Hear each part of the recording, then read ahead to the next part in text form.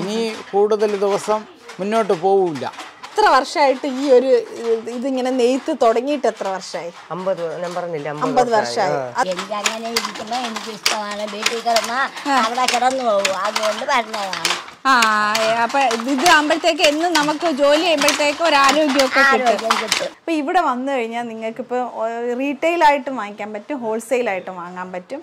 Hi friends Sheetha എക്സ്പ്ലോറിന്റെ മറ്റൊരു എപ്പിസോഡിലേക്ക് എല്ലാവർക്കും സ്വാഗതം.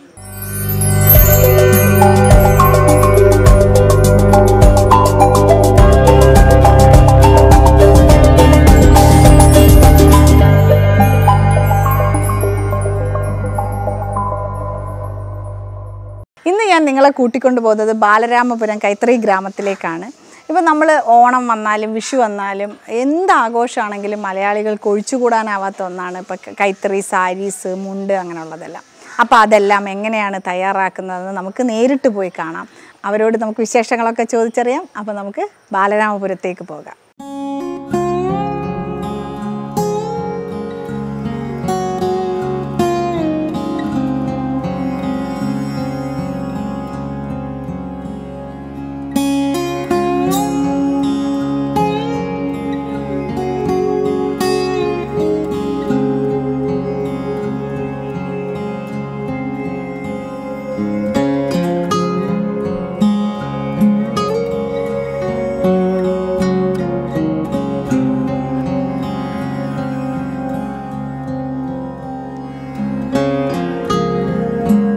നമ്മൾ ബാലരാമപുരത്തെത്തി ഇപ്പം ആ കൈത്തറി യൂണിറ്റിലോട്ടാണ് നമ്മൾ പോയിക്കൊണ്ടിരിക്കുന്നത്. നമുക്ക് അവിടോട്ട് പോയിട്ട് അവിടുത്തെ കാഴ്ചകളൊക്കെ കാണാം. അവിടുത്തെ ആൾക്കാരോട് വിശേഷങ്ങളൊക്കെ ചോദിച്ചറിയാം.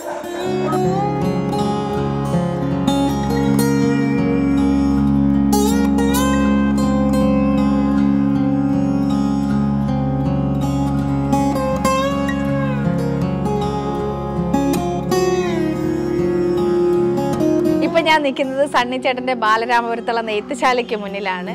എന്നോടൊപ്പം നിൽക്കുന്നതാണ് സണ്ണി ചേട്ടൻ. ചേട്ടനോട് തന്നെ ചോദിച്ച് നമുക്ക് ഇവിടുത്തെ വിശേഷങ്ങളൊക്കെ മനസ്സിലാക്കാം. ഇതിപ്പോ എത്ര വർഷമായി ഇവിടെ ഇത് ആരംഭിച്ചത് ഇത് പത്തിരുന്നൂറ് വർഷം പഴക്കമുള്ള സ്ഥലമാണ്. കൈത്തറിയുമായിട്ട്. നാല് തലമുറ കൊണ്ടും നമ്മൾ ചെയ്യുകയാണ്. ഇപ്പൊ ഇത് വളരെ കുറവാണെന്ന് ഇപ്പം വളരെ കുറവാണ്. മൊത്തത്തിൽ തിരുവനന്തപുരം ജില്ലയിൽ തന്നെ ഒരു നാല് ലക്ഷം തറി കൈത്തറി ഉണ്ടായിരുന്നു. അതോടനുബന്ധിച്ച് പത്ത് ലക്ഷം പണിക്കാരായിട്ട് ഈ പണിയെടുക്കുമായിരുന്നു ഇത് പണ്ട് രാജകുടുംബത്തിന് നമ്മൾ വേണ്ടിയാണ് നമ്മളെ തിരുവിതാംകൂറിൽ ചേർന്ന സ്ഥലമായിരുന്നു ഈ കന്യാകുമാരി കാവൽ കാവൽ കിണർ വരെ. അപ്പം അവിടെ നിന്നൊക്കെ ആളുകളെ കൊണ്ടുവന്ന് പണി തുടങ്ങി നമ്മളെ രാജധാനിയിലേക്ക് ഈ കൈത്തറി ഉൽപ്പന്നങ്ങൾ ഉൽപ്പാദിപ്പിച്ച് കൊടുക്കുമായിരുന്നു രാജാവിനും കുടുംബത്തിനും മറ്റുള്ള ആളുകൾക്കുമായിട്ട്. അത് ഇന്ന് നശിച്ചുകൊണ്ടിരിക്കുകയാണ് ഈ തൊഴിൽ. ഇനി കൂടുതൽ ദിവസം മുന്നോട്ട് പോവില്ല അതായത് ഒരു പത്ത് പതിനഞ്ച് പത്ത് വർഷം കഴിയുമ്പോഴത്തേക്ക് ഇതൊരു പുരാവസ്തുവായിട്ട് മാറും. അപ്പൊ ഇനിയിപ്പോ ഇത് ചേട്ടന്റെ കാലം കഴിഞ്ഞാൽ ഇത് അടുത്ത അടുത്ത തലമുറ തലമുറയിലില്ല. കാരണം ഇത് കൂലി കുറവാണ്. ഇതിൽ രണ്ട് നാല് പണി ചെയ്താലേ ഒരു മുണ്ട് ഉൽപ്പാദിപ്പിച്ചെടുക്കാൻ ഒക്കുള്ളൂ. ഇവിടെ ഇപ്പൊ മൊത്തം എത്ര തറിയാണുള്ളത്? ഇവിടെ തറിയുള്ളത് പത്ത് മുപ്പത് തറിയുണ്ട്. എത്ര ഒരു ഒരു ദിവസം മുപ്പത് മുണ്ട് മുപ്പത് മുണ്ട് നാൽപ്പത് മുണ്ട് ഇങ്ങനെ വരും. പണിക്കാരുടെ അസൗകര്യം അനുസരിച്ച്. അതായത് അവർക്ക് ദേഹസുഖം ഉണ്ടെങ്കിൽ ഡെയിലി വന്ന് മറ്റു പണികൾ ചെയ്യും. അന്തരീക്ഷത്തിന്റെ ഇതും മഴ ഓ മഴ പെയ്താൽ നെയ്യാൻ ചെയ്യാൻ പണി ചെയ്യാൻ ഒക്കത്തില്ല. അതെന്തുകൊണ്ടാ? അത് എന്തുകൊണ്ടെന്ന് വെച്ചാൽ ഈ പഞ്ഞിയല്ല നൂൽ? അത് കയറി ഒട്ടി പിടിച്ച് കളയും. അപ്പോഴേ നമ്മൾ കാലെടുത്ത് ചവിട്ടുമ്പോഴത്തേക്ക് താരൂല്ല മുതുവടി. അപ്പൊ മഴക്കാലമായ പട്ടിണി തന്നെയാണ്. ഇപ്പൊ ഇവിടെ മുപ്പത് തറിയോളം ഉണ്ടെന്ന് പറഞ്ഞു. ഇപ്പൊ ഇവിടെ കുറെ ജോലിക്കാരും ഉണ്ടല്ലോ. അപ്പൊ ഇവരൊക്കെ ഇവരുടെ ഇഷ്ടത്തിൽ തന്നെ വരുന്നതാണ്. ഇനി ഇപ്പൊ ഇത് കഴിഞ്ഞാൽ ഇവർ അടുത്ത തലമുറ അടുത്ത തലമുറ വരുന്നില്ല. പുതിയതായിട്ട് ഇത് പഠിക്കുവാൻ വേണ്ടി വരുന്നില്ല. അടുത്ത തലമുറ. അവരെ ഇപ്പം ഇരിക്കുന്ന തലമുറയുടെ മക്കളും മറ്റുള്ള കാര്യം മറ്റുള്ള മക്കളെല്ലാം പഠിക്കുകയും കാര്യങ്ങളുമായിട്ട് ബന്ധപ്പെട്ട് പോകുന്നത് കൊണ്ട് ഈ തൊഴിലിലേക്ക് വരുന്നില്ല. ജോലിക്കാരെ കിട്ടാനും കിട്ടാനും ബുദ്ധിമുട്ട് തന്നെയാണ്. ഇതിന് ഗവൺമെന്റ് പ്രോത്സാഹനം കൊടുത്താലേ ഇത് മുന്നോട്ട് ഇത് പഠിപ്പിക്കാനൊക്കെ ഒരു യൂണിറ്റ് ഒക്കെ തുടങ്ങി അതിലേക്ക് ഗ്രാൻഡും കാര്യങ്ങളെല്ലാം കൊടുത്ത് പഠിപ്പിക്കത്തക്കന സംവിധാനം ഗവൺമെന്റ് കൊണ്ടുവന്നാൽ ഇത് മുന്നോട്ട് പോവാം അതുപോലെ തന്നെ ഇതിപ്പോ കറണ്ടിലൊന്നും അല്ലല്ലോ അല്ല ഇത് കൈക്കൊണ്ട് ചെയ്യുന്നതാണ്. അതാണ് പേര്. അധ്വാനിച്ചാലേ ഇത് കിട്ടുള്ളൂ. പണിയെടുത്താലേ ഇതിൽ പൈസ കിട്ടുള്ളൂ. പക്ഷെ എന്ന് വെച്ചാൽ അധ്വാനം കൂടുതലും നമുക്ക് ഇതിന്റെ പിന്നെ ഔട്ട്പുട്ട് ഒരു മുണ്ടാണ് ഒരാൾക്ക് ഒരു ദിവസം നെയ്തെടുക്കാൻ പറ്റുന്നത്. അപ്പൊ അത്രത്തോളം അധ്വാനമാണ് അത് തന്നെയാണ്. ഇന്ത്യയിൽ തന്നെ ഏറ്റവും കൂടുതൽ സൊസൈറ്റി സംഘങ്ങളുള്ളത് തിരുവനന്തപുരം ജില്ലയിലാണ് കേരളത്തിൽ. എന്നാലും തിരുവനന്തപുരം ജില്ലയാണ് ഇന്ത്യയിൽ തന്നെ അഞ്ഞൂറ്റി നാൽപ്പത് സംഘങ്ങളുണ്ട്. പിന്നെ ഇനി ഒരു സംശയം. ഇവിടെ നമ്മൾ വിൽപ്പനയുണ്ടോ? ഇപ്പൊ ഇവിടെ ഇതിപ്പോ കണ്ടിട്ട് ആരെങ്കിലും ഒക്കെ വന്നു കഴിഞ്ഞാൽ നിങ്ങൾ വാങ്ങിക്കുന്നുണ്ട്. ധാരാളം ആളുകൾ വന്ന് വാങ്ങിക്കുന്നുണ്ട്. നിങ്ങൾ ഇത് വിൽക്കുന്നത് കൂടുതലും ടെക്സ്റ്റൈൽസിന് കൊടുക്കുകയാണോ ചെയ്യുന്നത്? ടെക്സ്റ്റൈൽസിലും കച്ചവടക്കാരും ദല്ലാളന്മാരും ഉണ്ട്. ഇത് വന്ന് വാങ്ങിക്കാം. ബ്രോക്കേഴ്സ് ആണ് വന്നിട്ട് വാങ്ങിക്കുന്നത്. അല്ല നിങ്ങൾക്ക് ഡയറക്റ്റ് കടകൾക്ക് കൊടുക്കാൻ പറ്റും. അങ്ങനെ രണ്ട് രീതിയിലാണ് പല രീതിയിലാണ് ബിസിനസ് അതിലിപ്പോ നമ്മൾ കടയിലൊക്കെ പോയാലേ ഈ മുണ്ടുകൾ കണ്ടു കഴിഞ്ഞാൽ ഒറിജിനൽ എങ്ങനെ കണ്ടുപിടിക്കാൻ പറ്റും? അത് അതിന് കണ്ടുപിടിക്കാൻ ഒക്കത്തില്ല. അതാണ് ഇതിന്റെ ഒരു പ്രത്യേകത കൈത്തറിയിലെ ആ. ഒറിജിനൽ കൈത്തറി കണ്ടുപിടിക്കാൻ ഒക്കത്തില്ല. നനച്ച് കഴിയുമ്പോഴേ നമ്മൾ വാങ്ങിച്ച് നനച്ച് കഴിയുമ്പോഴേ അറിയാൻ ഒക്കുള്ളൂ കാരണം അത് പുറത്തുനിന്ന് വരുന്നത് കംപ്ലീറ്റ് പോളിസ്റ്ററും ഈ റീഡ് കുറഞ്ഞ കൈത്തറി ഉൽപ്പന്നങ്ങളാണ് പുറത്തു നിന്ന് വരുന്നത്. അത് ആകർഷണമായിട്ട് കാഴ്ചക്ക് നല്ലതായിരിക്കും അത് നമ്മൾ കൈത്തറി നനച്ച് കഴുകി കഴിഞ്ഞാൽ അതിന്റെ ക്ലേശം പോയി. ആ അപ്പൊ ഇന്ന് നമുക്ക് ഇതിന്റെ അകത്തേക്ക് കയറിയിട്ട് അവിടെയുള്ള കാഴ്ചകളൊക്കെ കാണാം. എങ്ങനെയാണ് ഇത് നെയ്യുന്നത്? അതിനകത്തുള്ളവരെ കുറിച്ച് അവരോടൊക്കെ കാര്യങ്ങളൊക്കെ ചോദിച്ചൊന്ന് മനസ്സിലാക്കാം. അപ്പോൾ നമുക്ക് അകത്തേക്ക് പോകാം.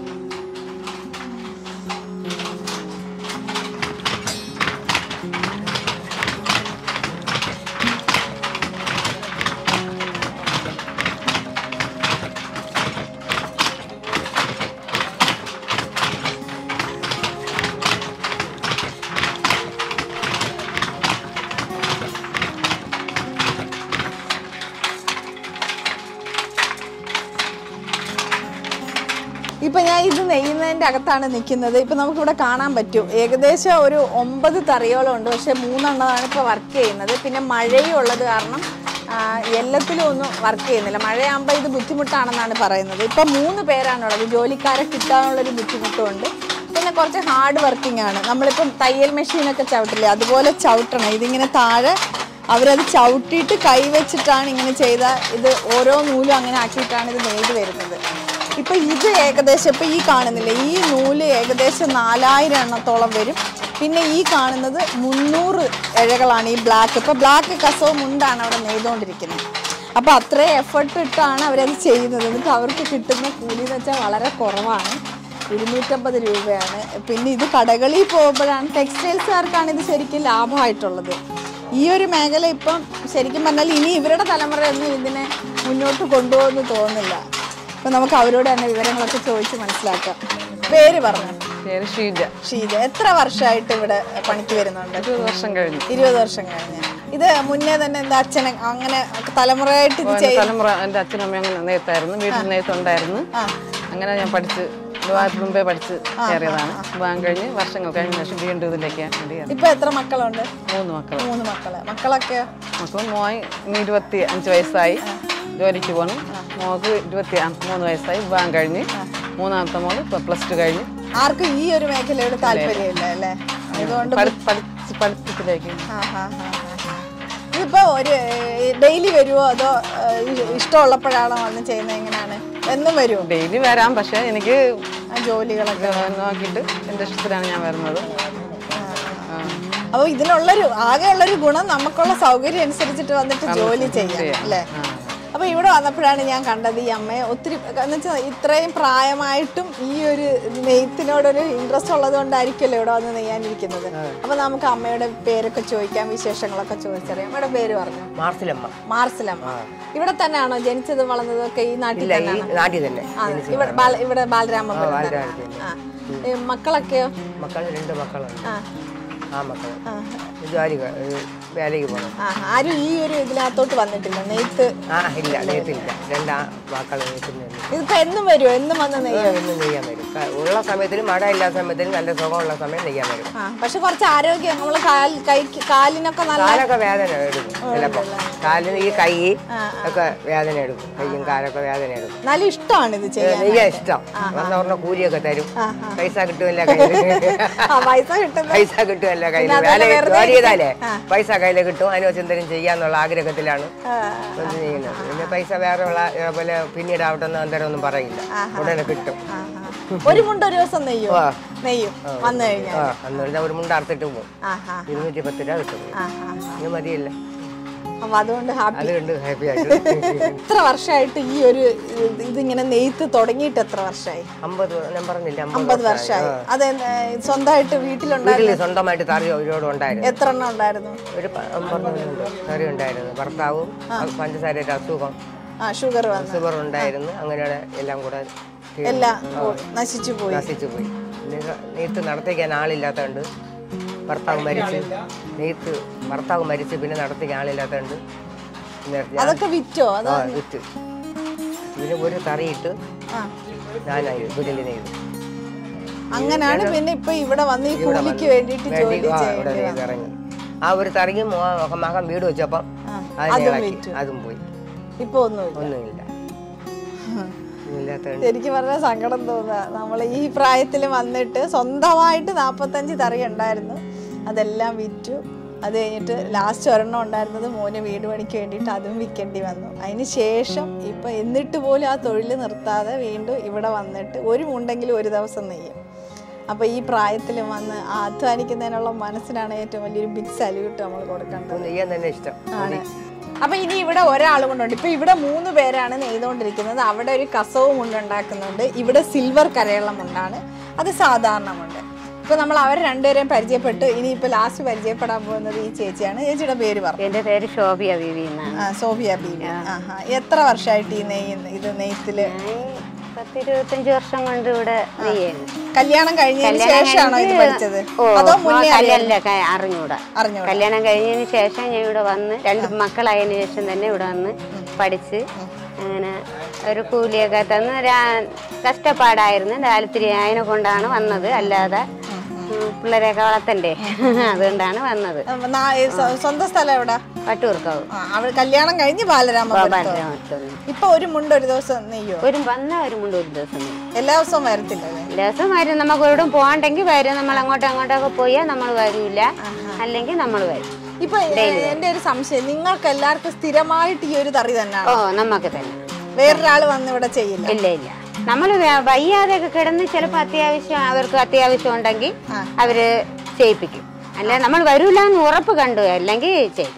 നമുക്ക് തന്നെ. ഈ ഒരു കറി എപ്പോഴും നമുക്ക് തന്നെ. നമ്മൾ ഇവിടുന്ന് പോണവരെ നമുക്ക് തന്നെ.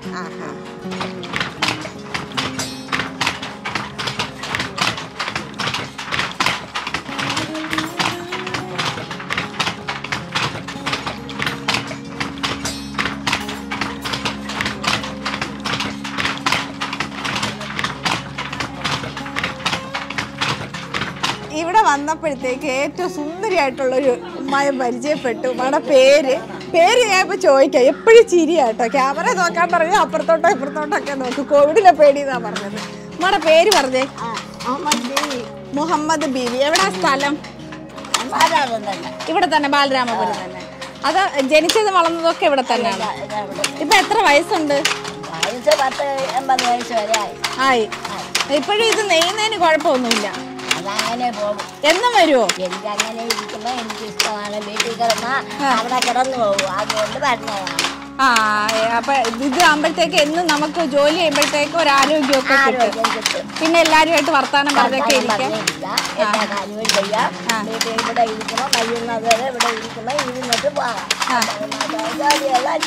അപ്പൊ ഈ കൂലിയൊക്കെ വാങ്ങിച്ചിട്ട് എന്തോ ചെയ്യും? കൂലി വാങ്ങിച്ചാ പിന്നെ ചെലവില്ല ഒരു ആ അല്ല വേറെ ആരെങ്കിലും ഉണ്ടോ? വേറെ ആരും അവിടെ പറഞ്ഞ മക്കളുണ്ട്. ഐറ്റങ്ങൾ ഐറ്റങ്ങൾ വേറെ കുടുംബങ്ങളൊക്കെ ആയില്ല ആ. ആ. ഇത് നമ്മളെ സ്വന്തമായിട്ട് ഗുളിക വാങ്ങിക്കാനോ എണ്ണയും സോപ്പും വാങ്ങിക്കാനൊക്കെ ഉപകാരപ്പെടും. അപ്പൊ ഇപ്പം നമ്മൾ ഉമ്മായ പരിചയപ്പെട്ടല്ലോ. ഇപ്പോഴും എത്ര ആക്റ്റീവായിട്ട് ചിരിച്ച് വളരെ സന്തോഷത്തോടുകൂടി പറയാം. എന്ന് വെച്ച് കഴിഞ്ഞാൽ സ്വന്തമായിട്ട് അധ്വാനിച്ച് മരണം വരെയും ജീവിക്കണമെന്ന് ആഗ്രഹിക്കുന്ന ആൾക്കാരാണ്. ഈ ഇപ്പം ഇത്രയും പ്രായം ഉണ്ടെങ്കിൽ പോലും എന്ന് വന്നിട്ട് ഇവിടെ ഇത് നെയ്യാനായിട്ട് ഭയങ്കര ഇഷ്ടമാണ്. സ്വന്തമായിട്ട് ഒരുപാട് തറിയൊക്കെ ഉണ്ടായിരുന്ന ആളാണ്. അതൊക്കെ നശിച്ചു പോയി. ഇവിടെ തന്നെ ഈ ഇതിൽ തന്നെ ഇപ്പം നാൽപ്പത് വർഷമായിട്ട് ഇവിടെ ജോലിക്ക് വരുന്നുണ്ട്. അത് നോക്കിക്കേ നമുക്ക് നോക്കിയാലറിയാം ഇത് കണ്ണ് ഭയങ്കരമായിട്ട് കണ്ണിന്റെ ആ കാഴ്ച ഉണ്ടെങ്കിൽ മാത്രമേ നമുക്ക് ഈ ഓരോ ഇഴയും ഇതുപോലെ വന്നാൽ മാത്രമേ പെർഫെക്റ്റ് ആയിട്ട് വരത്തുള്ളൂ. അങ്ങനെ ഉണ്ടെങ്കിൽ മാത്രമേ ഇവർക്ക് ഇത് വിൽക്കാൻ പറ്റൂ. ഒരു ഇപ്പം നമ്മൾ കടയിൽ പോയി വാങ്ങുമ്പോഴത്തേക്ക് ഒരു നൂൽ എന്തെങ്കിലും ഒരു വ്യത്യാസം വന്നാൽ നമ്മൾ വാങ്ങില്ല. അത് ഇവരെന്തുമാത്രം കഷ്ടപ്പെട്ടിട്ടാണ് ആ ഓരോ മുണ്ട് നിന്ന് അതിനകത്തൊരു ചെറിയ മിസ്റ്റേക്ക് വന്നു കഴിഞ്ഞാൽ അതവർക്ക് വിൽക്കാൻ പറ്റില്ല. അതവർക്ക് നഷ്ടമാണ്. അപ്പോൾ ഇത്രമാത്രം ഹാർഡ് വർക്ക് ചെയ്തിട്ടാണ് നമ്മൾ ഈ ഉടുക്കുന്ന ഈ ഓണത്തിനും കേരളപ്പിറവി ഇതിനൊക്കെ ഉടുക്കുന്ന മുണ്ടുകൾ ഓരോന്നും നമുക്കുള്ള കയ്യിലെത്തിച്ചേരുന്നത്. ഇത്രമാത്രം ഈ ഇപ്പൊ ഇവിടെ ഉള്ളവരൊക്കെ ഏജ് ആയവരാണ് എല്ലാവരും. എല്ലാവരും വീട്ടിലെ ബുദ്ധിമുട്ടുകൾ കൊണ്ടും അങ്ങനെയൊക്കെ വരും വന്ന് ജോലിക്ക് പിന്നെ കുറച്ച് പേരുണ്ട് താല്പര്യത്തോടു കൂടി വന്ന് ചെയ്യുന്നവർ സ്വന്തമായിട്ട് തറി ഉണ്ടായിരുന്നവർ കുറേ പേരെ പരിചയപ്പെട്ടു. ഇപ്പോൾ അതൊന്നും അവർക്കില്ല. അപ്പോൾ ഈ ഒരു മേഖലയെന്ന് വെച്ച് കഴിഞ്ഞാൽ ഇപ്പം ശരിക്കും പറഞ്ഞാൽ ഇതിനൊരു നാശം വന്നുകൊണ്ടിരിക്കുന്ന ഒരു സമയമാണ്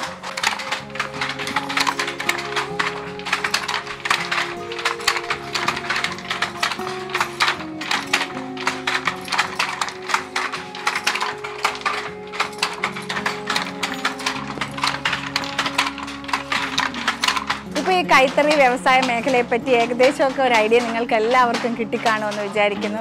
ഇപ്പോൾ ഇവരെയൊക്കെ കണ്ടപ്പോൾ മനസ്സിലായില്ലേ? നിഷ്കളങ്കമായ സ്നേഹത്തിനുടമകളാണ് എല്ലാവരും. എല്ലാവരും നമ്മളായിട്ട് ഭയങ്കര സ്വന്തം വീട്ടിൽ വർത്തമാനം പറയുന്നത് പോലെ എനിക്ക് ഭയങ്കരമായിട്ട് അടുപ്പം തോന്നി എല്ലാവരോടും. അവരൊക്കെ ഇപ്പോഴും ഈ പ്രായത്തിലും എത്രമാത്രം കഷ്ടപ്പെട്ടിട്ടാണ് ഈ ഒരു ജോലി ചെയ്യുന്നതെന്ന്. അവർക്ക് അതിന് കിട്ടുന്ന തുച്ഛമായ ശമ്പളം കൊണ്ടുപോലും അവർ സന്തോഷത്തോടു കൂടിയാണ് ആ ഒരു വരുമാനത്തെപ്പറ്റി പറയുമ്പോഴേ അവർ ഭയങ്കര സന്തോഷമായിട്ടാണ് പറയുന്നത്. പക്ഷേ ശരിക്കും പറഞ്ഞാൽ നശിച്ചുകൊണ്ടിരിക്കുകയാണ് ഈ മേഖല. ഇതിന് വേണ്ടിയിട്ട് നമ്മളെല്ലാവരും നമ്മളിപ്പോൾ ഒരു കടയിൽ പോയിട്ട് വലിയൊരു ടെക്സ്റ്റൈൽസിൽ ചെന്നിട്ടൊരു മുണ്ട് വാങ്ങിക്കുമ്പോൾ നമ്മൾ അതിനെപ്പറ്റി വിലയോ ഇതൊന്നും നോക്കാറില്ല. പക്ഷേ ഇവർക്ക് കിട്ടുന്നത് വളരെ തുച്ഛമായ കൂലിയാണ്. ഇരുന്നൂറ്റമ്പത് രൂപ ഇപ്പം ഒരു കുടുംബം ഒരു കുടുംബം പോറ്റാൻ വേണ്ടിയിട്ടാണ് അവർ ആ പൈസ ഉപയോഗിക്കുന്നത്.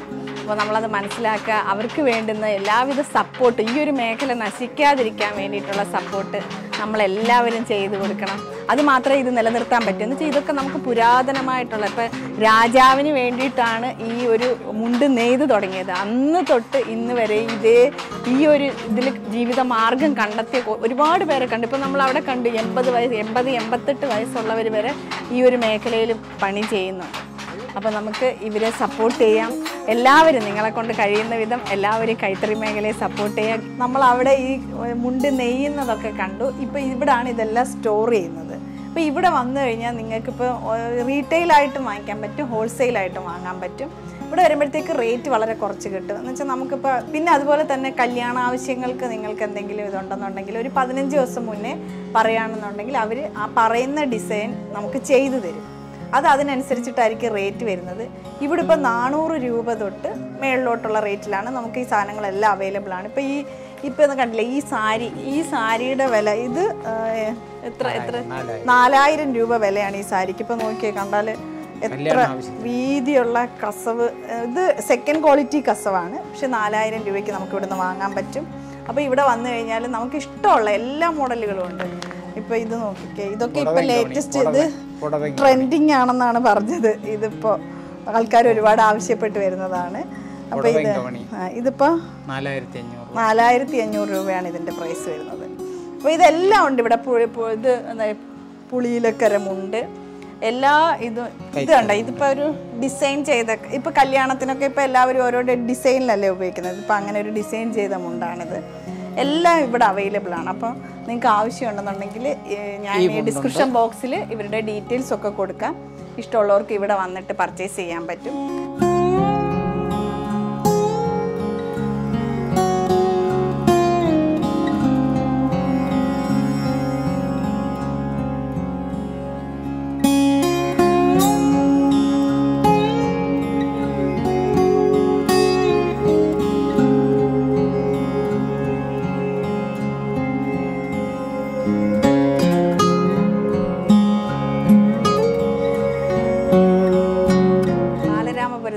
സണ്ണിച്ചേന്റെ അടുത്ത് വന്നു കഴിഞ്ഞാൽ നമുക്ക് ഇഷ്ടമുള്ള സാരി ആണെങ്കിലും മുണ്ടാണെങ്കിലും ഒക്കെ വാങ്ങിയിട്ട് പോകാൻ പറ്റും. പിന്നെ കല്യാണ ആവശ്യങ്ങൾക്കാണെങ്കിൽ നിങ്ങൾ നേരത്തെ തന്നെ പറയാമെന്ന് പതിനഞ്ച് ദിവസം മുന്നേ പറയുകയാണെന്നുണ്ടെങ്കിൽ നമുക്ക് ഇഷ്ടമുള്ള ഡിസൈനിൽ ഒറിജിനൽ കസവിൽ ഇത് ഉണ്ടാക്കിയെടുക്കാനും പറ്റും. പക്ഷേ ഒറിജിനൽ കസവ് വരുമ്പോഴത്തേക്ക് പ്രൈസ് കുറച്ച് കൂടുതലായിരിക്കും വരുന്നത്. അതേപോലെ തന്നെ ഈ പിന്നെ സെക്കൻഡ് ക്വാളിറ്റി കസവിലുള്ളതുണ്ട്. അതൊക്കെ ഒരു ത്രീ തൗസൻഡ് ഫോർ തൗസൻഡ് റേഞ്ചാണ് വരുന്നത്. ഇപ്പം ഞാൻ കാണിച്ചല്ലോ ആ സാരി. പിന്നെ ഏത് ഡിസൈൻ വേണമെങ്കിലും ചെയ്തു തരും. അപ്പോൾ നിങ്ങൾക്ക് ഇവിടെ വന്നു കഴിഞ്ഞാൽ ഇഷ്ടമുള്ള മുണ്ട് വളരെ ചീപ്പായിട്ട് തന്നെ വാങ്ങിക്കൊണ്ട് പോകാൻ പറ്റും.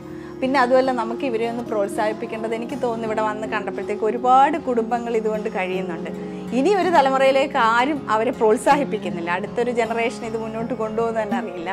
അപ്പോൾ നമ്മളൊക്കെ ഇങ്ങനെയൊക്കെ അവർ സപ്പോർട്ട് ചെയ്ത് കഴിഞ്ഞാൽ ഇനിയും ഈ ഒരു കൈത്തറി വ്യവസായ മേഖല നിലനിന്ന് പോകും. അത് ഇനി നമ്മൾ വരും തലമുറയ്ക്ക് ഇതൊക്കെ കാണിച്ചു കൊടുക്കാനും പറ്റും. അപ്പോൾ എന്തായാലും എല്ലാവരും അവരെ സപ്പോർട്ട് ചെയ്യുക. ഈ ഈ ഇന്നത്തെ ഈ വീഡിയോ നിങ്ങൾക്ക് എല്ലാവർക്കും ഇഷ്ടപ്പെട്ടെന്ന് വിചാരിക്കുന്നു. അടുത്ത നല്ലൊരു വീഡിയോ ആയിട്ട് ഞാൻ നിങ്ങളുടെ മുന്നിലേക്ക് വരുന്നതായിരിക്കും. എല്ലാവരും സന്തോഷത്തോടെ ഇരിക്കുക. Bye bye.